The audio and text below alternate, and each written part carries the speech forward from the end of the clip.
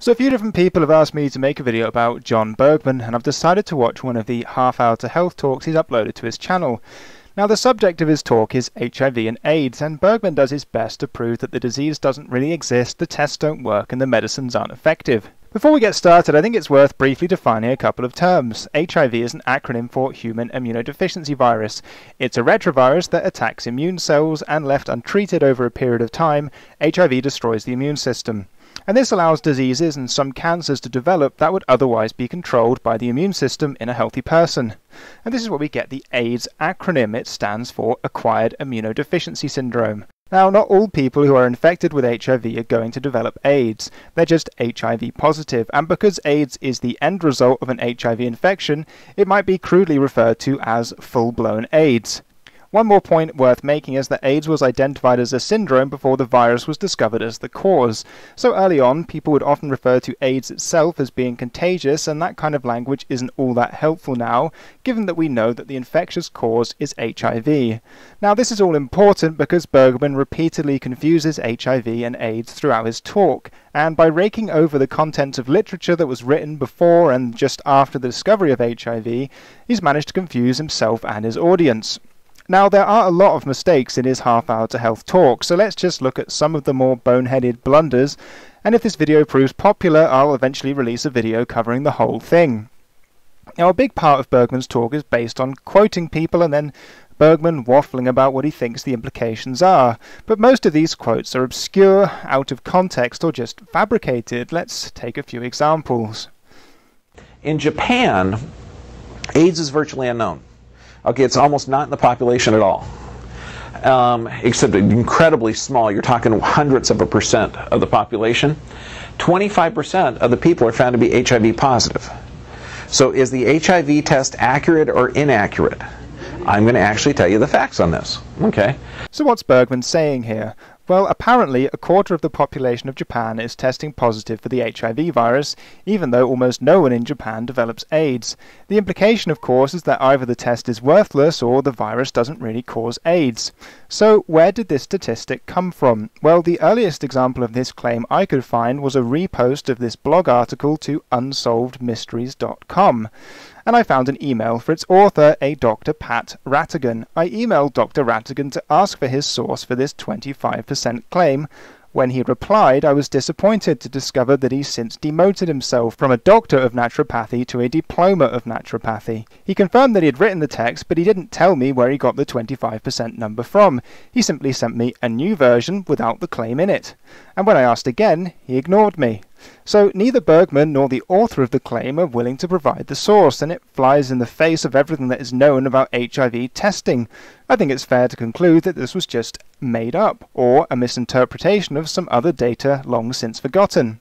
Let's take another quote from Bergman's talk. He uses this line, attributed to a British health advisor, Dr. Rachel Baggaley, to undermine the claim of AIDS mortality in Zambia yet. Now here, some of the quotes, and these these are people that are actually in the field trying to treat AIDS. No one in Zambia ever dies of AIDS. They'll say it's malaria fever or TB. That's absolutely. Um, from the University of Chico. So Bergman is saying here that AIDS isn't really killing people, other diseases are responsible, and this quote proves it. I tracked down the 1995 article this quote came from, and it seemed pretty clear to me that it was taken out of context, and people were dying of AIDS, they just didn't want to admit it because of the fear around the disease at the time. But rather than take my interpretation, you can hear it straight from the horse's mouth because I emailed Dr. Rachel Baggaley, who's now at the World Health Organization, and asked her about this line in Bergman's talk. Here's her response. This is totally bizarre. Of course, this quote is from 1995. It would have been referring to the fact that because of the stigma, people would not say that their relative had died of AIDS. They would say something else, like he died of malaria, or a fever, or TB, or a long illness. I ran an HIV testing service in Lusaka at this time, and there was no antiretroviral therapy available. So there were lots of issues at this time around people not wanting to get tested. 25 years later, and we're at a completely different stage, of course. With effective therapies, testing is much more acceptable and people's lives have been transformed.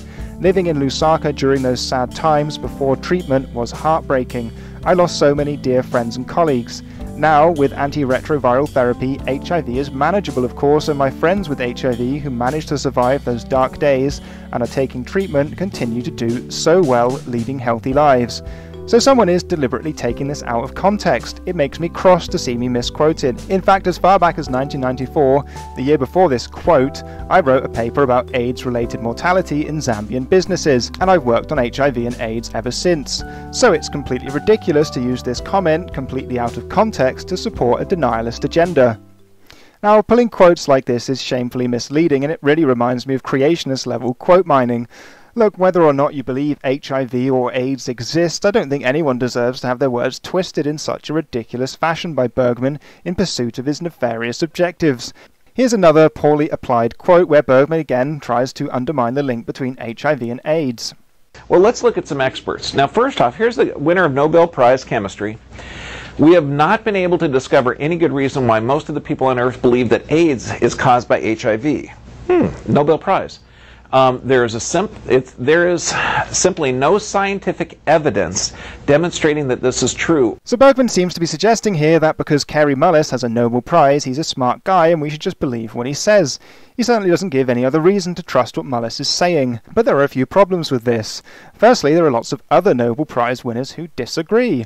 Here's two good examples. Luc Montagnier and Francois Barré-Sinoussi shared the 2008 Nobel Prize for their discovery of HIV as the viral cause of AIDS. I'm not sure how Bergman would propose we clear up this conflict. My suggestion would be rather than hyping our favoured experts' credentials, we could look at the research they actually did on the subject they're talking about. In the case of Luc Montagnier and Francois Barré-Sinoussi, that would be hundreds of scientific articles in the relevant field.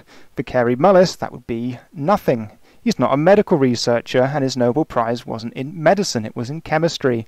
In his LA Times obituary, Kary Mullis was described as an LSD dropping, climate change denying, astrology believing, board surfing, Nobel Prize winning chemist who was both widely respected and equally criticized for his controversial views. So, yes, Kary Mullis won the Nobel Prize and was obviously a remarkably intelligent person, but unless Bergman is going to give us some compelling reason to believe him, over other eminently more qualified, equally intelligent, and presumably less deranged scientists, we can dispense with this quote as well. Now, as I said earlier, Bergman repeatedly rakes over decades old controversies in his efforts to confuse his audience. Here's a good example. They came up with a single definitive definition of what AIDS is in Africa. Okay, you ready?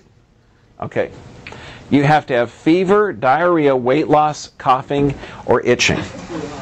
Everybody around Okay, now 60% of sub Saharan Africa. 60% of sub-Saharan Africa live in huts with dirt floors and the dirt it's either dirt floors or it's oh, floors made with, with cow dung to mm-hmm. keep the dirt down. Now they have an average of 7 kids. Okay, 7 kids in that in in that one little one room. Okay? So we're talking an absolute horrible aspect of no, unsafe drinking water, inadequate food, basic sanitation is gone. And this is just horrible. Do you, do you think a lot of people there are going to have itching, coughing, diarrhea, or weight loss? So what's Bergman doing here? Well, firstly, he's minimizing the symptoms that were required for this 1985 AIDS diagnosis. To be diagnosed with AIDS using the symptoms Bergman described, you would need to have weight loss of more than 10% of your body weight, repeated or continuous attacks of fever for more than a month, and diarrhea for more than a month. And you'd also need one more additional symptom, which could include coughing or skin irritation. A day of diarrhea is a very different prospect to an entire month. Now, Bergman also says that lack of adequate food could also cause these same symptoms, and he's not wrong, but if he'd actually read the case definition he's talking about, he would have known that malnutrition excluded you from being diagnosed of AIDS. It's literally the first point in this table. And he would have also known that the World Health Organization were very much aware of the limitations of this system and in the very same document emphasized that it could only be a provisional diagnosis and that testing for HIV needed to be deployed in Africa. And for well over 20 years now, positive HIV test has been a requirement for an AIDS diagnosis globally. And now we've dealt with this confusion, I think the answer to Bergman's next question is going to be painfully obvious. Okay, now Now, AIDS is diagnosed differently in Africa than it is in America. I'm sorry, is chickenpox different in China and different in America? Is tuberculosis different in Australia and then different in Alaska? No. Is there any disease on the planet that has different diagnoses or did anyone got a challenge with this? Uh, yes, I do have a challenge with this. Diseases are diagnosed with different criteria and tests all over the world due to differences in the resources and capabilities of different healthcare systems and also differences in the prevalence of diseases. Okay, so let's carry on with some more confusion about diagnosing AIDS. Now, 1992, okay, there were more diseases added, indicating 29 diseases. So if you had any one of 29 diseases, along with the lifestyle factors that predispose you to this, you got AIDS. Okay? Now, now this was huge because it also they had people without being sick that would have AIDS, and this was a low CD4 count. Now CD4 is part of an immune system cell. If any, anybody in here want to just experiment around and mess around with the medical doctors to get a low CD4 count, what you got to do to to lower your CD4 count, don't eat for eight days. And then if you happen to have lifestyle factors, you're going to have a positive AIDS test. So, what's he on about here? Well, in the very early days, immediately after the first few cases of AIDS were identified in gay men in the USA, lifestyle factors were a necessary filter to identify who could have possibly caught what was at the time a potentially new infectious agent. And certain diseases like Kaposi sarcoma and a certain type of pneumonia called PCP, that were otherwise very rare, were used to diagnose AIDS in this population. Fast forward just a few years later, and effective tests for the virus were developed and lifestyle factors were used to identify at risk groups, but not in the diagnosis or surveillance of HIV. They had the test. Now you could be HIV positive without yet having developed AIDS, but doctors still wanted to monitor how many HIV positive people were progressing to AIDS and how fast that was happening. So they still used the indicator diseases to diagnose AIDS, but only in people who had already tested positive for HIV. So in 1992 they expanded the list of diseases that placed an HIV positive person into the AIDS category.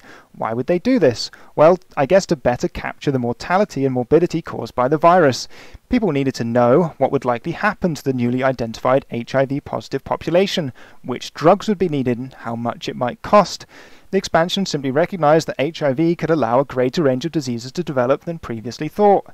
Uh, more recently, CD4 count is used to monitor the state of your immune system. The less CD4 cells you have, the further your disease has progressed. Using CD4 count to diagnose AIDS is a more objective method. It allows doctors to make easier comparisons between patients and therapies. But when Bergman says that you're going to have a positive AIDS test with a low CD4 count and the correct lifestyle factors, he's talking absolute rubbish. This has never been possible, and since the mid 1980s, it is essential to test positive for HIV to be diagnosed of AIDS. And if you went to the doctor after not eating for eight days, he'd send you home with a prescription for a pizza, and if you told him that you thought you might have AIDS, he'd test test you for HIV and rule it out immediately. But please don't mess around with medical doctors, it's a waste of everyone's time, especially when Bergman's clever ruse is doomed to fail, and it seems pretty obvious to me that he's never tried this not eating for eight days trick on himself. It was first diagnosed back in um, 1958 at an experimental clinic um, inside of the Congo. That's where most of the AIDS cases first came from. And I can say that it was because the infections, or it was an experimental polio virus that was grown in infected monkey tissue and it was distributed around the Congo out of a French chemical warfare plant. And this is what developed this experimental vaccine. In Paris, in Paris, what they came up with is that it was between 50,000 and 500,000 doses of this experimental vaccine were injected in the Congo, and this is where a lot of the AIDS cases started. It wasn't AIDS because we can see that. It was an autoimmune response where the people just started to die. But I'm not going to talk about that. Okay, just know that that's one of the factors. So what Bergman is alluding to here is the oral polio vaccine AIDS hypothesis, but he gets a lot of the details wrong. It's long been known that HIV is genetically quite closely related to simian immunodeficiency virus or SIV. It's pretty well accepted that the origin of HIV lies in the infection of humans with SIV, and the question has always lingered about how this happened. Now, the oral polio vaccine was created using cell culture of various primate cells. In a documentary called The River, it was alleged that chimpanzee cell culture was used to create a batch of polio vaccine used in Central Africa, and that since chimpanzees carry SIV, the vaccine could be the source of the AIDS pandemic. Subsequent testing of remaining stocks of the vaccine proved that it was in fact monkey and not chimpanzee cells used, and this pretty much closes the book on that hypothesis. And when Bergman says that infected monkey tissue was used, he's confused the central accusation of the theory because whether it was monkey or chimpanzee cells has always been one of the most contentious points. Furthermore, three different labs also tested the cells for retrovirus contamination and found nothing, and the genetic diversity of the oldest HIV sequences from the 60s pushes back the genesis of HIV by several decades. And besides, this theory on the origin of AIDS confirms the viral cause of the disease, so it conflicts with the rest of what he's saying. My guess is that he couldn't resist adding in lurid false details because monkey cell culture and vaccines sound scary to his uninformed audience. And you can tell he's hyping something he has no idea about because he says that the vaccine was injected when the entire hypothesis is known as the oral polio vaccine hypothesis, and oral vaccines are taken orally. So that's it for this video. I've been trying to upload something for weeks. I'm going to stop here.